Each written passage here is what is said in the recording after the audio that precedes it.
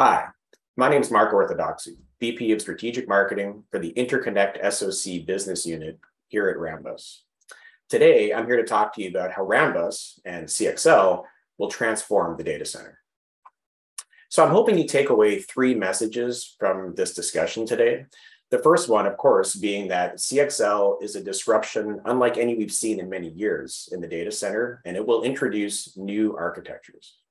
The second is that this isn't going to happen all at once. In fact, CXL technology will be adopted in phases.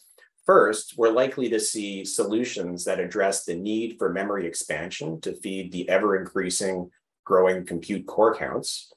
The second will largely be addressing memory inefficiency or memory utilization inefficiency in the data center by reducing memory stranding. So solutions like memory pooling are likely to be introduced. In addition, in that time frame, we may need we may see some innovative solutions for near memory compute. And then finally, we will look to address the utopia of rack scale disaggregation, which includes not only compute, I/O, and storage, but also memory. And finally, I hope you take away that Rambus is uniquely positioned in this ecosystem to deliver, to deliver innovative solutions. So, who is Rambus?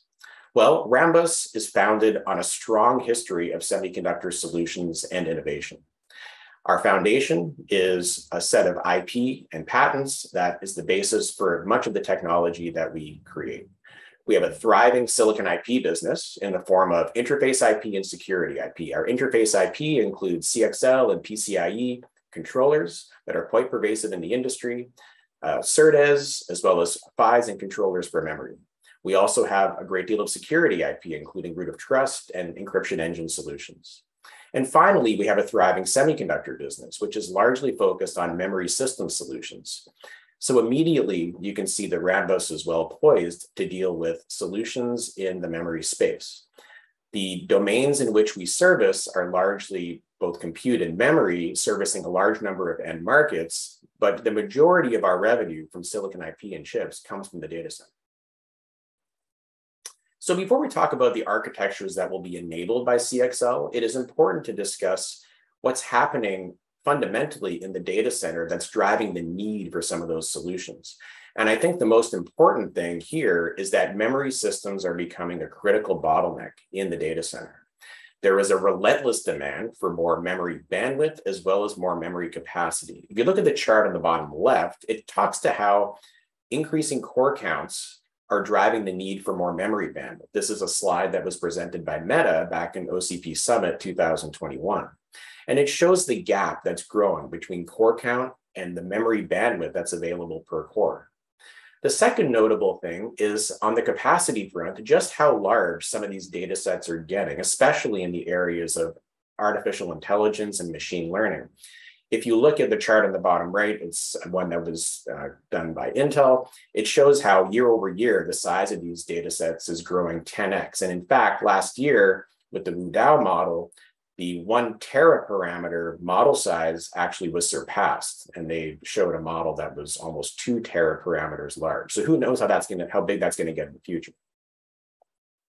So when we look then at the data center memory challenges, we talked about bandwidth per core decreasing and the need to free up more bandwidth. Um, we've also talked about the need for more capacity. So if you add more capacity to a server, what are your options today in terms of storing a data set? Well, you can, of course, add more servers, which comes with compute and memory. So you run the risk of using the compute much less efficiently than you could otherwise. Or you can move some of that data set onto slower primary storage. And so what that creates though is a bit of a latency gap in terms of the options you have at your disposal to grow the memory system. Um, so that's a huge challenge as we look forward. How do we get more data accessible with low latency to the compute? The, the third challenge, which is new, I haven't talked about that yet, is this notion of memory stranding. And really what we mean by this is um, if you're a data center architect, one of your jobs is to dial in the provisioning for any given server to deal with peak workload. So you have to dial in how much memory you want to put inside that server. Now, no matter how good of a job is done, the reality is that you're going to find scenarios where the peak workloads that you're trying to prepare for are just not at that moment in time running on the server. And so you end up with this memory that is sitting dormant, not being utilized, which is a very expensive resource. So one of the challenges the data centers face is how do we go and collectively on a grand scale use that memory more efficiently? CXL attempts to address all three of these issues, and we'll talk about how. So let's go back to the latency gap. Um, CXL is really the solution that the ecosystem is broadly accepting as the vehicle to introduce memory tiering into the data center. This is not unlike what happened in storage um, in decades past, right? With the introduction of uh, hard disks after tape drives and then flash after that. So what we see in this diagram here is at least three new tiers being added in the in the uh, data storage latency pyramid. The first one being CXL direct attached DRAM. So here we would see a latency impact over native attached DRAM, but the goal is to keep that latency as small as possible so it's least impactful and noticeable to the software. It's generally accepted that about a NUMA hop worth of latency is absorbable by most workloads in the system. And uh, that's really the design target for many of the initial CXL memory solutions. When you go to pooling and then to larger fabrics, which we'll talk about as we go through the presentation a little bit more, obviously you're creating larger memory pools, you're making them accessible to more hosts, you're putting them physically further away from the compute potentially. This adds more latency. So as you go to larger pools of memory or resources and put them further away, the latency does start to get larger. However, it still is orders of magnitude less than storage as we would see it today. The last thing I'll say on this slide is the software ecosystem to support this type of infrastructure also needs to be in place to take advantage of it. And we are seeing great strides being made, both by commercial software vendors as well as the open source community. So it seems as though we are getting well prepared for the availability of this type of CXL technology to go and address some of these memory challenges. Okay, so what is the CXL enabled server? What does it look like? Well, this slide sort of compares the two. On the left-hand side, you have a traditional server. It shows how a smart NIC might exist as well as an optional GPU or AI accelerator attached to a single CPU. So maybe it's a single socket server. And of course, that CPU has native DRAM attached to it in the form of DDR4 or DDR5 would be the modern example. Um, channels, which are very wide parallel interfaces that consume a lot of pins on the package. Um, now, in a you know hypothetical configuration, you can see an example of some math at the bottom. Uh, 1.5 terabytes, if you were willing to spend the money on that kind of memory capacity, could be supported in a solution like this. Now, on the right-hand side, you see a CXL-enabled server. Now, this talk is not a CXL tutorial, so I won't spend too much time talking about what is CXL as a protocol and as a standard, other than to say that you know, CXL is an open standard, of course, for load store transactions uh, with very low latency. And there's some options for coherency. And it introduces three different device types, type one, type two, and type three. Type one and type two are essentially out of scope for this discussion. Um, they deal mostly with uh, access to coherent cache from the CPU. Uh, what we're going to talk about are largely type 3 devices. Now, type 3 devices on the right hand side of that diagram on the right uh, are shown there. Often these will take the form of a CXL memory module, is what we typically call them. And you can see the CXL interfaces coming off, in this case, both the CPU and the AI accelerator connecting up to those things. Now, the diagram on the left, going back to that for a second, showed PCIe connecting up components. The diagram on the right replaces that with these blue CXL links. That talks to the fact that CXL runs over PCIe electricals. This is a huge benefit for CXL because essentially it does not require the sheer plumbing of the server to be rebuilt or re-architected. Rather, as long as the devices on both end of the plumbing support CXL as a protocol, you can actually use existing infrastructure. So by adding CXL memory modules into existing infrastructure on the server, we've actually increased the memory capacity and the memory bandwidth in the system. So for example, if you were to throw, say, four CXL memory modules into the system, attach them to the CPU, you can easily do the math to show that you've delivered 2x the memory capacity and as much as 50% more memory bandwidth to those cores running in the CPU. But there's other benefits to CXL attached memory that are beyond just bandwidth and capacity. Um, for example, now we have new vehicles for customers to do custom memory solutions, where before their options were simply plug more or less RDIMMs of different capacities into this into the CPU or into the server. Now we can actually tune bandwidth per unit of capacity, making compromises in terms of error correction and other kind of RAS capabilities. We also have this notion of media independence. Very important principle with serial attached memory, like CXL attached memory, is that the media controller, the DRAM controller, has moved off the CPU into an SoC that lives on an external module. What this means is that now memory types that are not natively supported by the CPU can be supported. So for example, imagine running DDR4 on a CPU that otherwise only natively talks DDR5. Amazing opportunities for reuse and cost savings in large scale data center deployments. Um, the fourth item on this slide talks to persistent memory. We haven't talked about persistent memory yet. This actually is also a great vehicle for persistent memory to increase its pervasive footprint in the data center. The challenges historically with persistent memory have been you need to downgrade the performance on a high performing DDR interface on the CPU. You may have to make changes to the BIOS to make it all work. Only some CPUs natively support the protocol that's actually required to use specific persistent memory.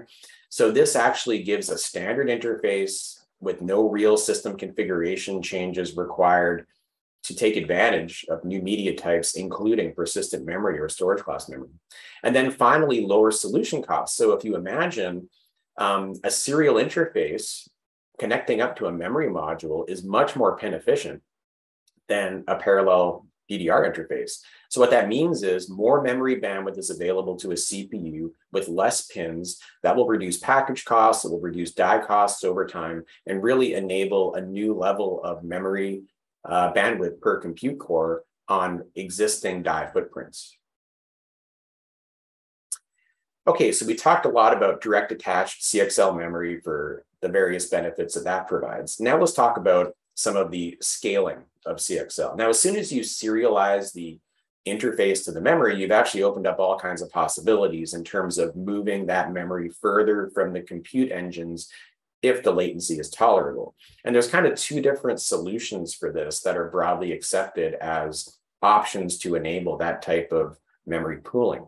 Uh, the first is often called, not to overuse the term, CXL memory pooling, which is essentially you have a memory node or a memory appliance with one or more CXL pooling memory controllers. And this memory node is directly connected to a bunch of compute nodes. Um, it also has embedded on it the media controllers required to drive, for example, DRAM. So you have this memory appliance, which will direct connect to a number of hosts or compute engines, and it will have a bunch of memory directly populated in it. Now, the advantage of this is it's the lowest latency solution to build a pool of memory. So as you can imagine, if we go to a larger scale system, you have more links and more hops and more devices to pass through, that will add latency. Of course, the drawbacks with memory pooling are it doesn't scale quite as, as large as a fabric will, as we'll talk about in a second. And it also, of course, uh, limits you with the flexibility on how much different kinds of media you can put in the memory node because the media controller is embedded in that memory node in that pooling memory controller. And so you are you know restricted to what that memory pooling controller can support. Now on the right is a switch or a fabric attached memory architecture. This actually introduces the scale that maybe we were missing in the memory pooling solution to the left of it. It also is not strictly speaking, a memory pooling solution alone because it allows for the heterogeneous connectivity of any type 3 device, any type 2 device. So GPUs, it can put you can put PCIe devices on this infrastructure if you wanted to um, like storage devices, NICs, et cetera. Now, of course, the drawback with this beyond, you know, a, a, level up in complexity is the latency penalty because you're taking more hops, you have larger devices and passing through more of them. So that's the, the compromise you make here. And the industry broadly is studying latency tolerances, and that will be, you know, a, a reality for the next couple of years still before we see this deployed broadly. Now, memory pooling sounds cool, but is there any real data to support it solving a problem? And I think one really uh, good paper that effectively captures not just the problem, but also CXL as a solution is one that recently was published by Microsoft with Carnegie Mellon. It's in the public domain. There's a link for it, a link to it here in the slide. Um, some of the things that it, it, it, mentions, and I just have a summary of some of the takeaways here. Um, first of all, half the cost of a server is memory. That's an astounding, that's an astounding number. 25% of the memory is stranded in the data center. Again, an astoundingly large number. Beyond that, 50% of the virtual machines in Azure, as the paper says, never touch 50% of their rented memory. I mean, imagine that. Not only is the memory that you're that you that you that you've rented being underutilized or using being underutilized, you're not actually even touching 50% of it. Disaggregation, it concludes, is needed to reduce memory stranding. And CXL has the low overhead required to implement that. The last thing that I think is really notable in the paper is eight of 13 Azure workloads were cited as being tolerant to the moderate um, latency hits that CXL introduces, and the rest of them suffered a slight performance degradation, but again, it was a very minor performance degradation. So Microsoft's presented a pretty compelling case here, and I think that is very powerful in support of this type of architecture and the problems that it's solving. The last thing I'll say on use cases is I made mention earlier on of near memory compute. What is that? Well, near memory compute is really the notion that you take some compute cores and you actually put it on the CXL memory module. And this has a number of benefits. It's mostly around efficiency. So if you can imagine, you're using compute resources more efficiently, you're using memory resources more efficiently, and you're reducing data movement, which really reduces power. Um, the application where this is most likely going to find relevance again is in AI or machine learning. So we can essentially do a small amount of vector processing directly on the module to accelerate those workloads. Now, the question I'm sure you're asking is, well, okay, these CXL memory modules sound very esoteric. What is what do they look like?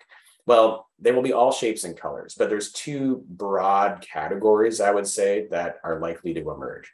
The first one is the EDSFF style memory module, which is in a form factor that frankly was invented for flash storage and looks to be very well suited for things like building DRAM, CXL memory memory modules. So this is a form factor that's well understood. A lot of PCIe Gen 5 servers, most in fact, will have front of server slots that are compliant that will allow for this. In the 2U server case, E3.S is most commonly seen.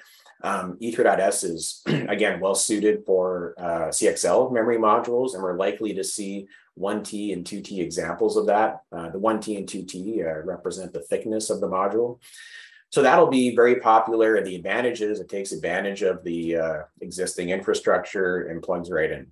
Um, the other category though is CXL add-in cards or custom cards. And here um, they're likely going to take the form for the most part of PCIe SIG CEM style add-in cards. The difference with these are for the most part, these will have DIMM connectors on the board because the form factor better allows for this deployment model versus an EDSFF drive. And RDIMMs, standard RDIMMs that you would buy today and plug into a server will plug into those cards, allowing for memory expansion um, via CXL without actually having to build new memory products other than the carrier board. The advantages of this are twofold. One is um, it's much easier to draw larger numbers of lanes of CXL from a CPU to a single board like this if you actually plug it into the back of the server instead of the front of the server where the drives are, because the back plane for storage is not really necessarily well suited to draw quite so many lanes to a single module. So if you have uh, say 16 lanes of CXL that you want to draw to a card, this might be a better solution to deliver yet more bandwidth than you can offer in an EDSFF module, practically speaking.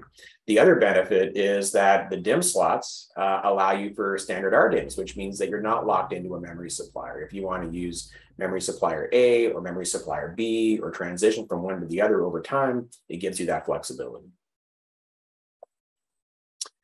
So why CXL? Why not some other standard? Well, I mean, at this point, it's fair to say that CXL is going to be ubiquitously adopted by the ecosystem. It has the support from you know virtually every major OEM, um, memory supplier, hyperscaler, semiconductor company, software company, IP company.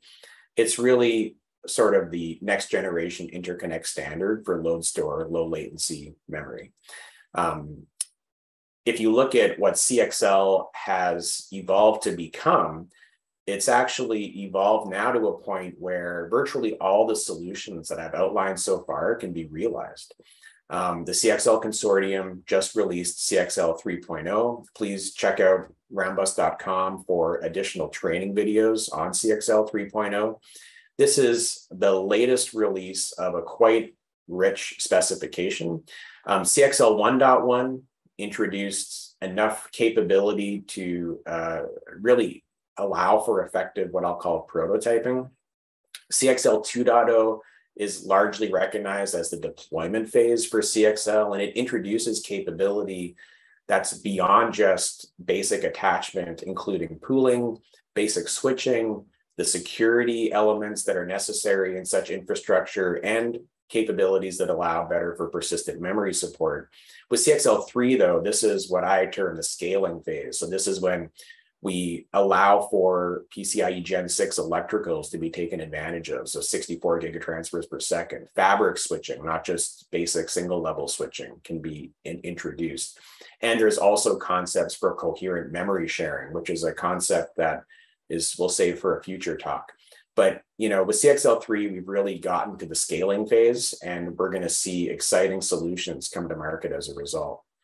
Which begs the question: What's the timeline for all this stuff? Well, obviously, I can't speak to the roadmaps of others, and uh, but broadly speaking, you can assume, I think, at this point, that we're going to see a lot of sample product come available in the market in 2023 um, and, and I think generally most folks agree that CXL memory modules and add-in cards for the direct attached use case will have their ramp year in 2024.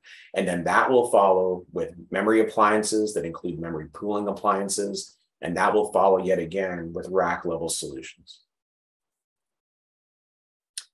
The other thing that's interesting to note as you keep on top of what's happening in the CXL ecosystem and how folks are differentiated, I think you know these are the things to look for, right?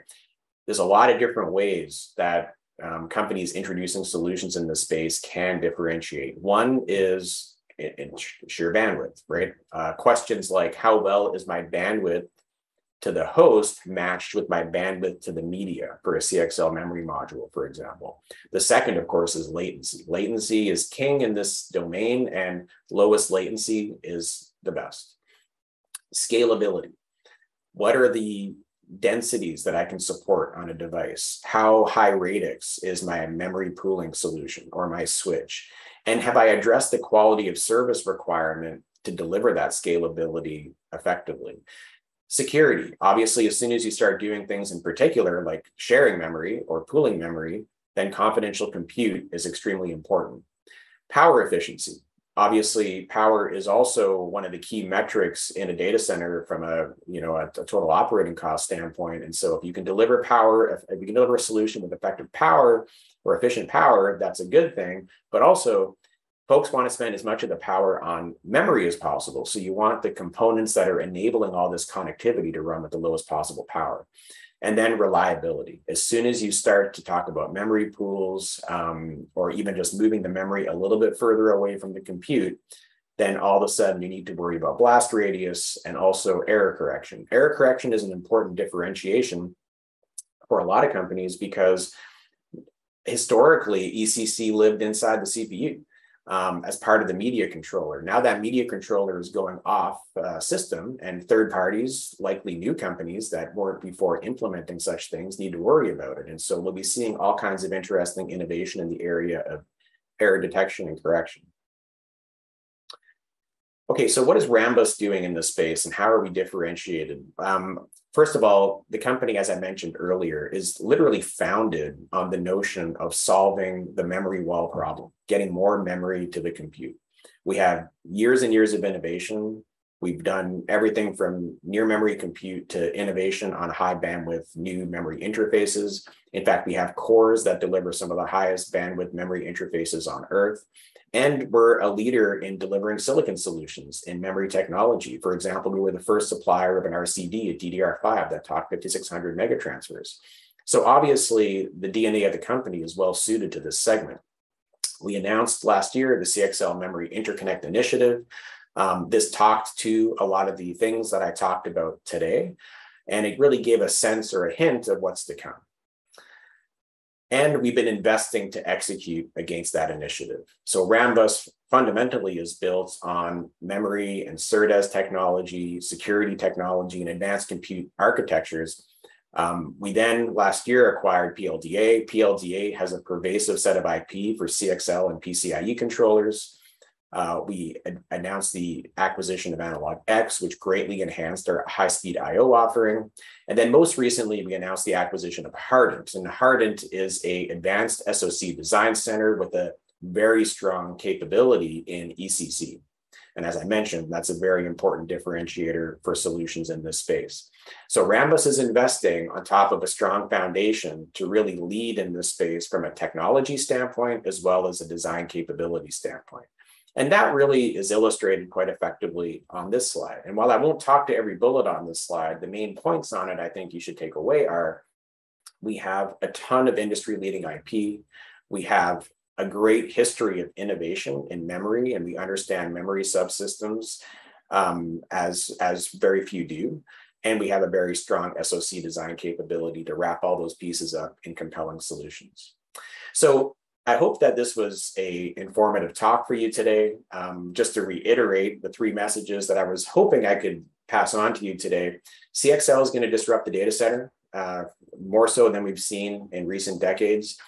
CXL3, recently announced by the CXL Consortium, delivers the scalability to introduce new compelling solutions. And Rambus is uniquely positioned to deliver solutions in this space. I want to thank you for your time today, and I hope you have a great day.